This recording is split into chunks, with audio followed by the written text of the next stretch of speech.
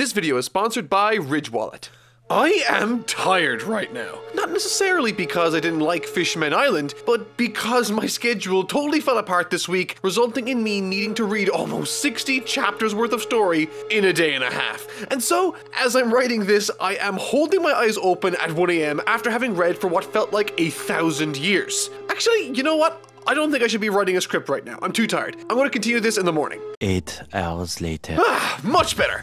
And to be honest, I feel like I have a much more solid opinion of the story Fishman Island has to offer now. Last week, I dipped my toe back into reviewing the story of One Piece with the short but charming return to Sabaody, which in a lot of ways acted as a setup arc of sorts for this fishy boy.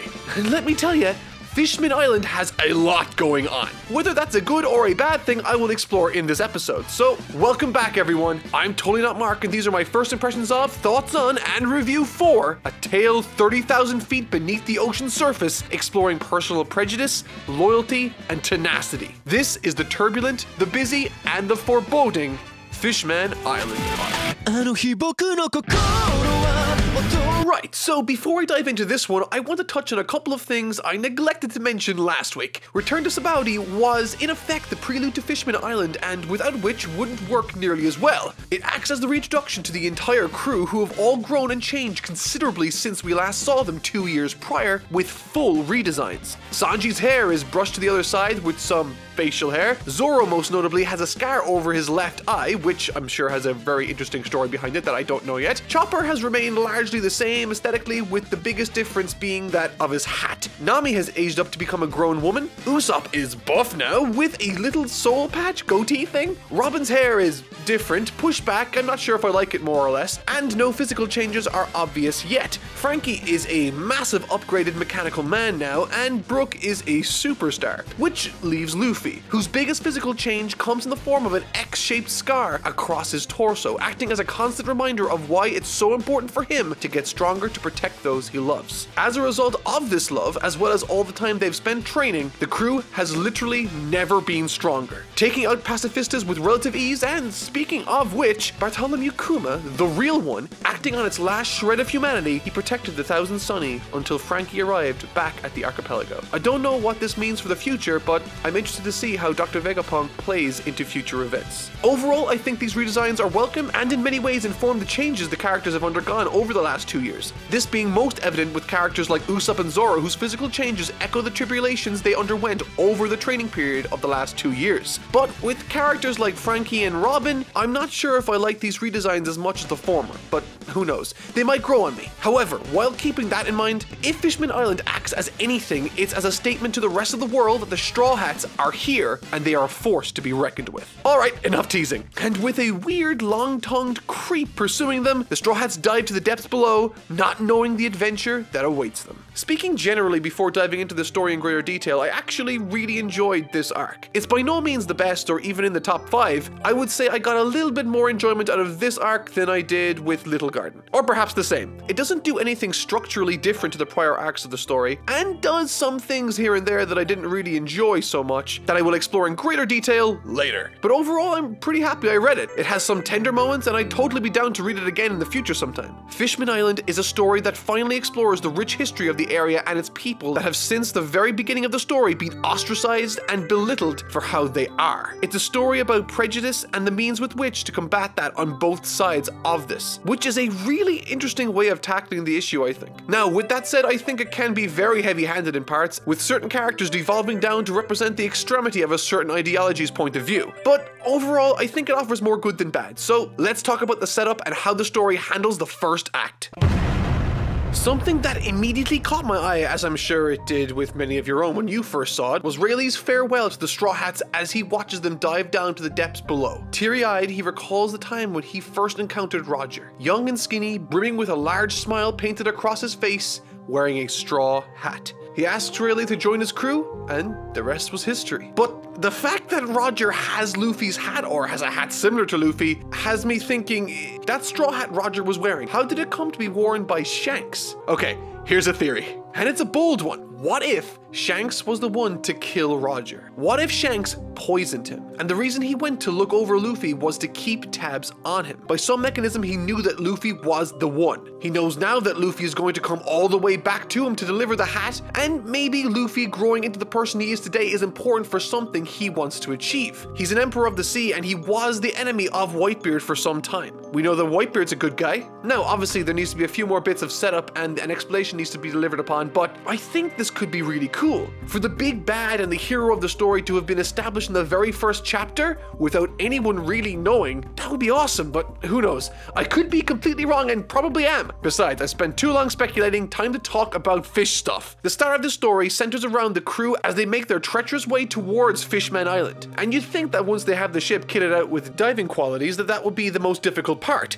Well, it absolutely isn't. And this is one of the aspects of this arc I think work in its favor to set itself apart from the rest of the other arcs. This destination, Fishman Island, is the most treacherous out of all the others we've ever visited in the past. Just like the rest of the crew, we are experiencing all of this in real time as they dive 10,000, 20,000, and eventually 30,000 feet below sea level, where enormous Neptunians lurk and where light can't reach. And unlike the other arcs of One Piece that center around the exploration of a particular island, the journey to Fishman Island alone is just as action packed and important as the activity that goes down once they do meet their destination. This brief but enthralling introduction to the depths of One Piece both inform the story that we are to explore later on, but also introduces us to the environment and a lot of the different mechanics we will have to contend with during this story, like enormous mythical creatures and bubble suits that enable the likes of those with devil fruit abilities to navigate the water they're in which, by the way, I thought was introduced in an ingenious way, if I'm being perfectly honest. You see, something we've not had to contend with much in the series so far is air, oxygen levels. In this story, it plays a massive role, specifically because it's in short supply a lot of the time in various scenes. For instance, the stunning that Rayleigh coated has a membrane that can be permeated but not to an extreme extent, meaning one or two individuals can punch or slice through it, but if too many at once try, it won't end well, which is a nice bit of added tension to the group's activities considering almost half of them are Devil Fruit users, which by the way offered a lot in the way of an opportunity for Luffy to demonstrate his character perfectly. Throughout the treacherous journey down through the depths of the sea, further and further the crew encounter numerous obstacles and beasts they need to flee from. And thankfully, they can using the Sunny, but the drawback is that it uses oxygen,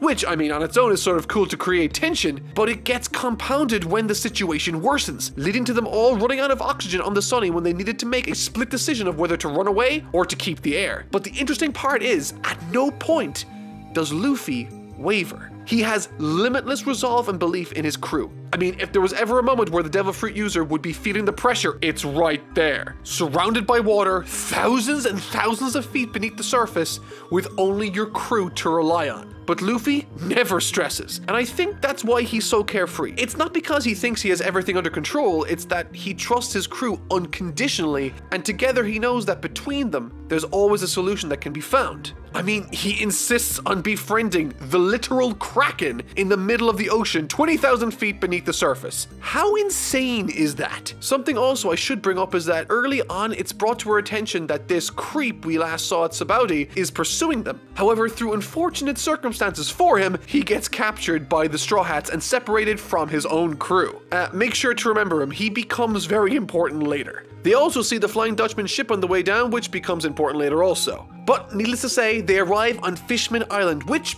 by the way, given the nature of its inhabitants, is a really weird name for a place. It's like all of us calling our own respective hometowns Humanburg or something. Then again, maybe One Piece has really weird place names. I mean, Usopp is from Syrup Village, so it checks out. But back to the story. What I like about the introduction here also, when they arrive on the island, is the struggle there is to actually land the damn ship. It acts as a way of introducing us to all the issues that navigating in 3D space instead of sailing on the sea involves. In this place, they are surrounded by water, and once they do land where they want to be, they are unfortunately submerged underwater in the ocean, which is a big problem, but thankfully, ルフィちよかった無事で acting as a nice reintroduction for the character in the series, as well as offering the story an individual to give us natural exposition for the world of Fishman Island and what's going on there and then. So, let's talk about the big bloody nosed elephant in the room.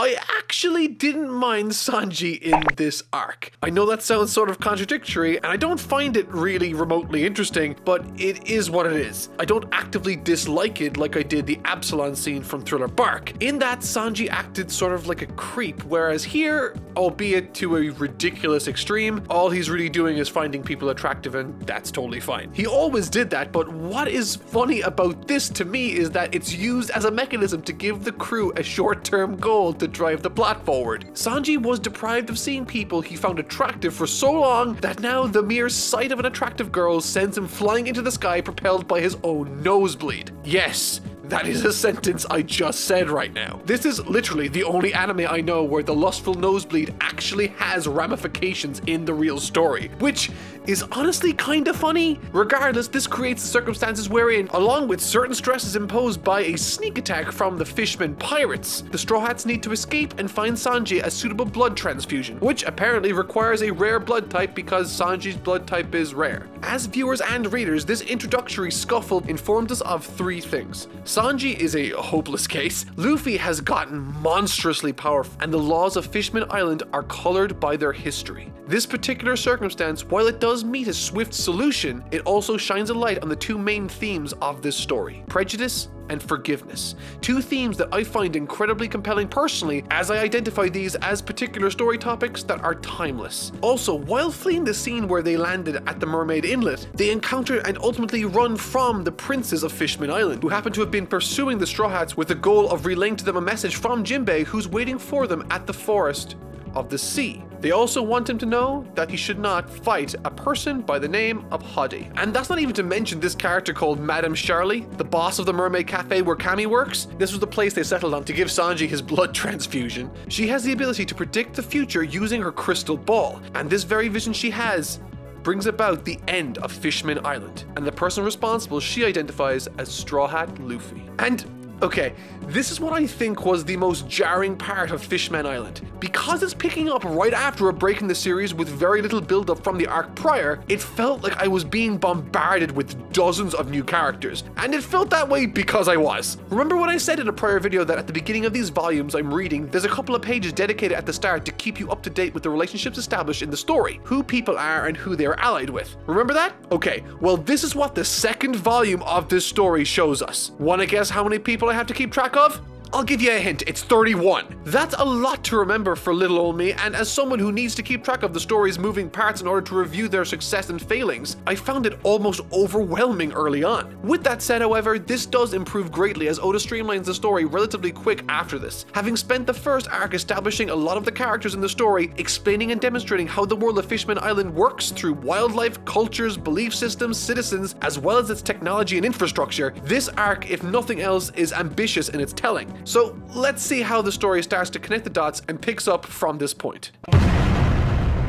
It's at this point the main plot thread starts to take a hold of the story. We're introduced to and get to know two important antagonistic characters for the arc. Hody Jones, captain of the new Fishman Pirates, and Vander Decken, captain of the Flying Pirates and the Flying Dutchman ship, which we saw towards the beginning of the story. Both of these characters effectively in one form or another threaten to corrupt and tear the island itself apart. As villains go, I didn't personally find them too interesting on an individual level, and they certainly lack the same level of charisma other older characters like Arlong and Crocodile had. But that's not to say that either of them don't have anything to offer the story. Vanderdecken is a crucial plot device that allows the story itself to function as smoothly as it does, possessing a devil fruit ability that allows him to, once he touches someone, to throw anything towards them without missing. Now, that sounds rather unremarkable when set alongside other more flashy abilities, but it's this very power that holds the foundations of the plot together that I will get into a little more later on. On the personality front, Decken is more akin to a comedic sideshow attract, by no means the main force of the arc, and resembles something out of the Wacky Races cartoon more than an imposing villain. Now, Hody Jones, on the other hand, I really enjoyed, but I should preface that by saying that I think if he had been used in any other setting or story, he would have been a ludicrously boring character. Which is to say that he works extremely well for this particular story and this story alone. And this is is made all the more evident by how he turns out at the very end of this arc. The reason why Hody Jones serves this story so well comes down to what the story is trying to achieve. As this tale unravels, it comes more and more to the forefront of the narrative that racism and prejudice are at the core of this story. And a fantastic way of exploring these oftentimes complex concepts is by pitting two extreme versions of the ideology spectrum against each other. Hody Jones is one of those extremes representing racism and hatred in its purest forms. In Arlong Park, we got some minor exposition regarding his feelings on human-fishman relations, but it was by no means the main topic of the story. This time, it is, and Hody acts as a terrific tool to communicate one side's feelings on the topic. And once Luffy and the crew meet the royal family of the kingdom, but most notably the princess, they become, as they often do, caught up in the complex turmoil the fishmen people find themselves embroiled within. As I said, Luffy, Usopp, and Nami are taken to the palace by King Neptune where Luffy meets Princess Shirahoshi, an enormous mermaid that has been locked away in her room for 10 years, hiding from one Vanderdecken who relentlessly throws lethal weapons and projectiles towards her from a very far distance in an effort to kill her for not agreeing to marry him.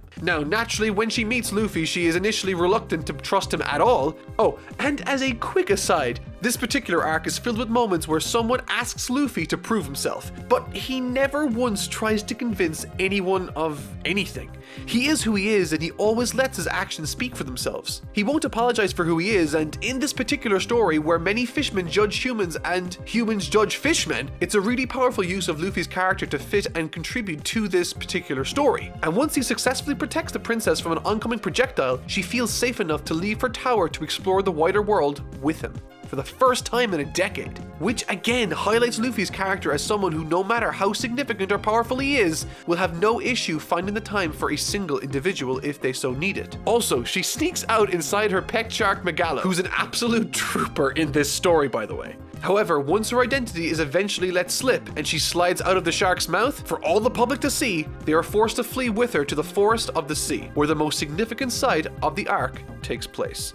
It's at this location Luffy happens to find and meet up with Jinbei who was waiting specifically for Luffy here. If you recall towards the beginning of the story, he was the one who had sent the three princes to relay a message to Luffy. That message was to go to the Forest of the Sea to meet with him and to not fight Hody Jones. Good thing he managed to get there without ever receiving the message. Now, it's here we're greeted with a flashback and perhaps the best part of the story really. For hundreds of chapters now, the history of these people and the hardships they faced have been drip fed to us, which obviously creates anticipation but also offers these flashbacks a strength the rest of the story doesn't really have much of, which is build up. We want to know about Arlong's origins, we want to learn about Fisher Tiger, and we really want to learn about the Queen's story, who is held in incredibly high regard within this society after dying tragically young. So, let's talk about the flashback.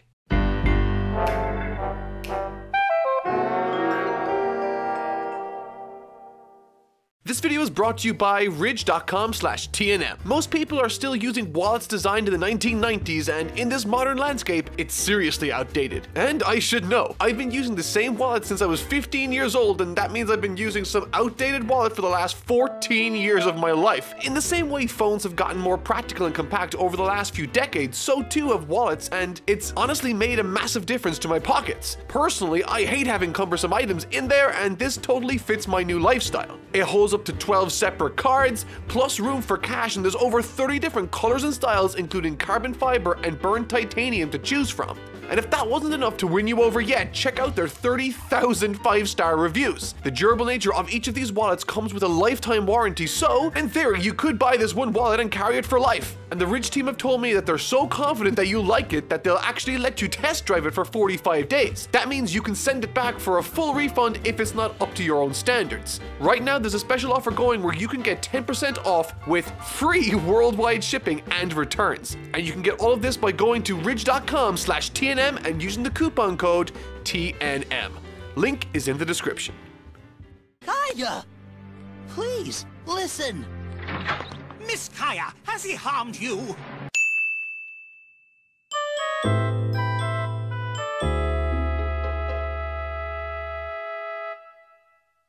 The best thing about this flashback is that it makes the entire climax of the arc far more interesting, which is exactly what a great flashback ought to do. Recontextualize the story in a more interesting way while exploring and extrapolating from the core themes of this narrative, providing more depth and intrigue. These flashbacks cover many years of struggle from various points of view, including but not limited to Hody Jones as a kid, Vander Decken, Fisher Tiger, Jinbei, and Arlong working beneath Fisher Tiger as young men before both defecting, and the royal family, to name but a few, primarily following the history of Queen Otohime. Something of note also is that I thought her design being that of a goldfish was inspired. The goldfish in Japan symbolizes prosperity and children, which is fitting as this character's ultimate goal is to free the future generations of this cycle of hatred her people have found themselves to be trapped in. I found her character to be charming and incredibly sweet, highlighted during a specific series of events surrounding the sudden arrival of a celestial dragon, demanding this and that of these people he deemed to be far beneath them. You know, typical likable celestial dragon stuff. Of the entire crowd formed around him, Otohime is the only one who shows any ounce of compassion, and in selfless act that embodies her belief perfectly, she jumps in front of this despicable human being to protect him from a gunshot. The character of Otohime is crucial to the overall message of this story, as she embodies the overall goal being that of forgiveness. But as I said, she isn't the only individual we see color the pages of these flashbacks, and between Fisher Tiger and the young Jinbei and Arlong, Hody Jones is exposed to some horrid ideas from a very young age, ultimately leading him to carry this hatred for no reason at all. Hody is the example of what Otohime was trying to avoid, to fight against, to prevent the next generation from inheriting the hatred of the past. And I thought that was covered really well throughout this entire arc, to be honest, especially considering the one who ultimately killed Is Hody as she is to him, standing in the way of progress for his race of people. After these flashbacks and other compelling setup conversations take place, my two favorites of the arc, the first being that of Nami reconciling the fact that Jinbei was responsible for her time under Arlong, ultimately releasing him into the East Blue in the first place, ending with her ultimately forgiving him for that. But the second is by far the most interesting for me. It's the debate that takes place between Jinbei and Luffy after these flashbacks end, regarding what's the next step in solving this Hody Jones matter. I thought this was genius and offered a very unique flavor to the dialogue I hadn't felt really since Water 7 with Usopp. Both sides of this conversation have their points. Luffy wants to take out this murdering racist that wants to bring about destruction and widespread hatred, but Jinbei says quite rightly that that will do more bad than good, as it will be yet another instance of humans being cruel to fishmen, turning Hody himself into a martyr, which is a really fascinating angle to take this complex situation from. It's a surprisingly easy to understand, nuanced point of view that stands completely at odds with Luffy's way of thinking. And so from that, the new goal becomes how do they control the optics of the situation? How do they turn Luffy into Fishman Island's hero? Act 3. This act, much like the rest of the arc, isn't concerned primarily with plot, but more so the individual elements contributing to and expanding upon the given themes of the arc itself. Does it work 100%?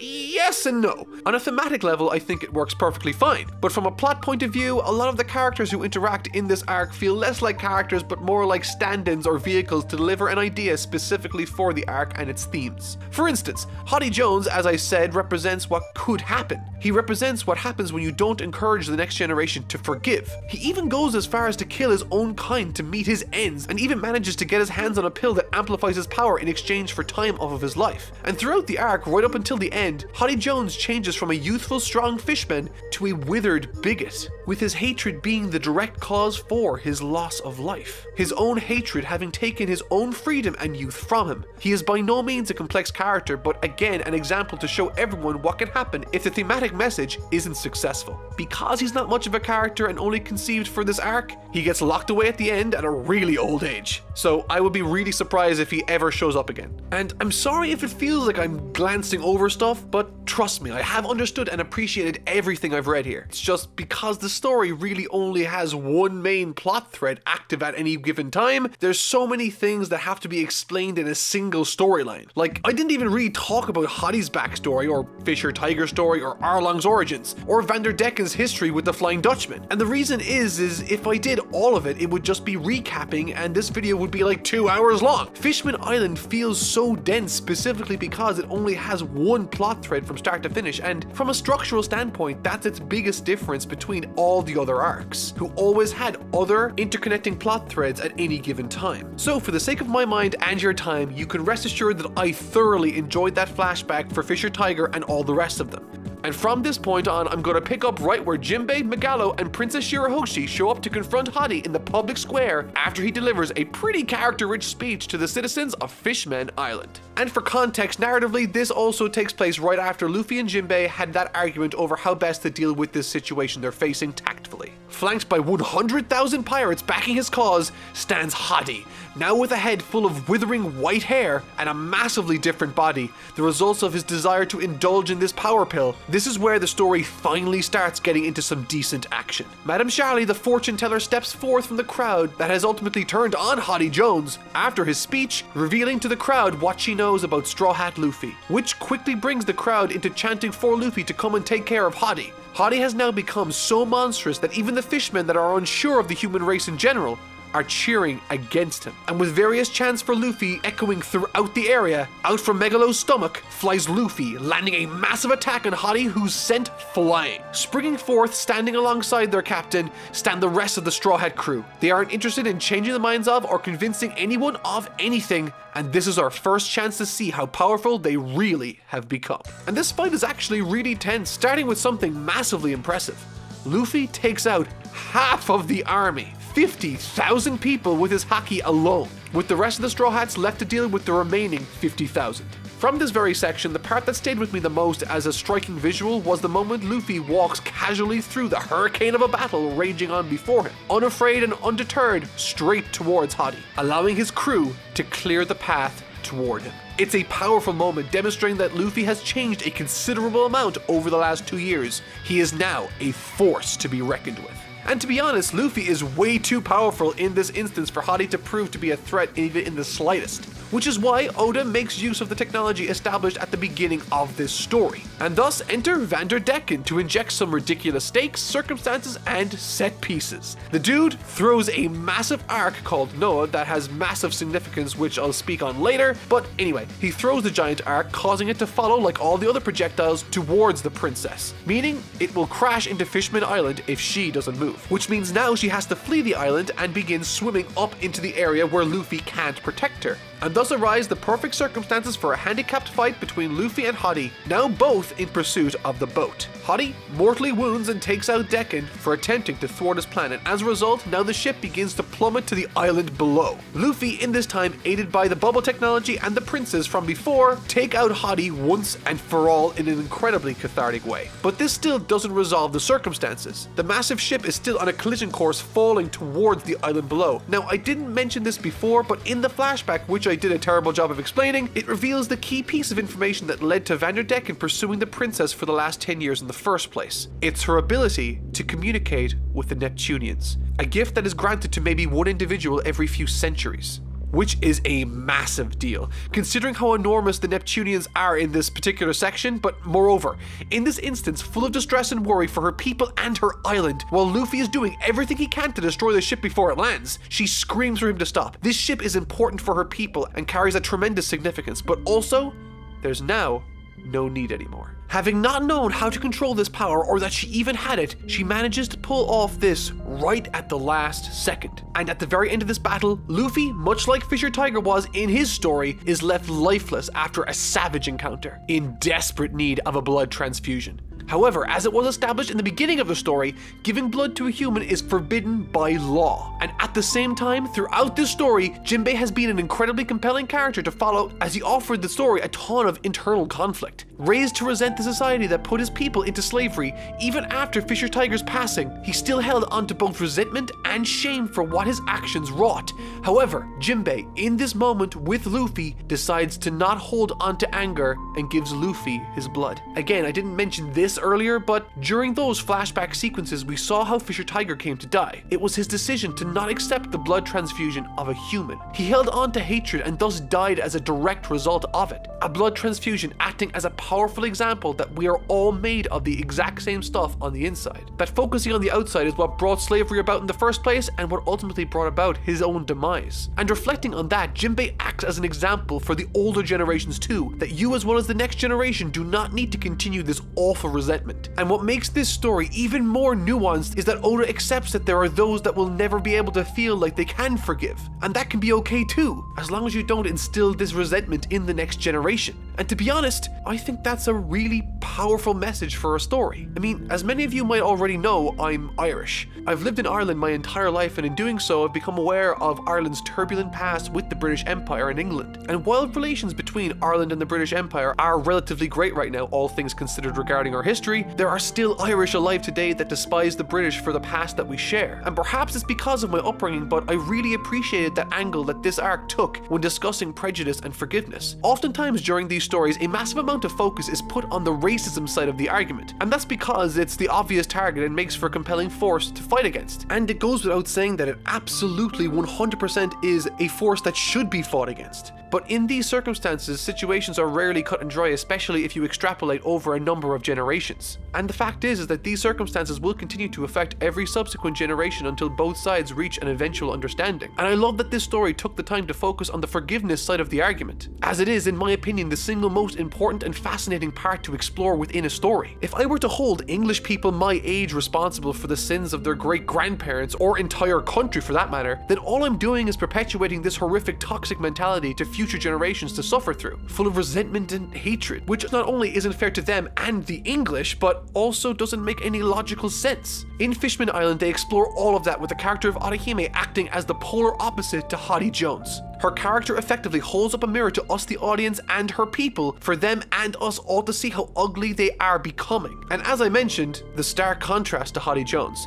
the product of a hateful ideology, proving that if you follow this resentment far enough, you become exactly what you hate a prejudiced maniac obsessed with his own race. Fishman Island and Hody Jones's character tells a story of how choosing hatred over forgiveness can lead to your own self destruction, both on an emotional and physical level. This is on display throughout the entire story, but my favorite similarity I noticed was that of Nami and the former Fishman slaves. Just like the former slaves of Fishman Island, who morphed their own tattoos to represent something else that they believe in, so too did Nami change her Arlong Pirates tattoo to something else. Effectively, Arlong did the exact same thing to the humans that he despised them for, reinforcing the notion that if you let the hatred consume you, you start to become exactly what you hate. Now, before I wrap things up with this review, I'd like to break down all the interesting pieces of information and lore that were revealed during this arc first. And what comes to mind immediately is the significance of the ultimate weapon finally being revealed. Way back in Skypiea, coordinates pointed to this exact destination, and only now is it being explored and uncovered. That's mad! There's also this really interesting moment where Luffy asks Jinbei right after he saves his life to join the Straw Hat crew. And while he doesn't immediately accept Luffy's offer due to his own need to take care of some certain businesses he needs to attend to, I think it's a really nice little thing left for us to look forward to in the story, whenever it does end up happening, that is. Personally, I think Jinbei is a perfect addition to the Straw Hat crew. Also, I didn't mention it during this arc, but Robin wandered off to uncover a poneglyph in her own sort of side story, effectively disconnected from the rest of it until the very, very end. And on this particular poneglyph read an apology from one Joy Boy who was revealed to have been someone that lived during the Void Century 800 years ago. Apparently, he broke a promise to the fishmen, but they don't remember what it was for. This is obviously super important, and I'm sure it will be explained later, but as of right now, I have no idea what to make of it. Oh, also, when the princess communicated to the Neptunians, Luffy understood what was being said. That's massive! And I'm guessing, based off of the brief flashback we got of this exact situation happening with Roger, hearing the Neptunians, is that Roger didn't know that he had this power. The fact that Luffy could come to learn the fact that he has this power could be a game changer when it comes to correcting history and revealing the Void Century. In other news, Akainu, the guy who yeeted Ace out of the picture, is now the new fleet admiral instead of Aokiji who was put forward by Sengoku. And apparently Aokiji has now left the navy. Additionally, Luffy started a mad beef with Big Mom, one of the four emperors of the sea, and in an effort to make amends, also sent her a bomb by mistake, which is hilarious. If this video alone hasn't conveyed to you how insane and detailed this particular arc is, I encourage you to check it out for yourself. I personally very much enjoyed it, and I can sort of feel how things are building to something significant yet again, and I cannot wait to see what's to come for us in this series. But with a farewell pinky promise, I gotta say that this is the end of the video. As always, I've been Totally Not Mark. I'll see you all next week, and thank you so much for watching.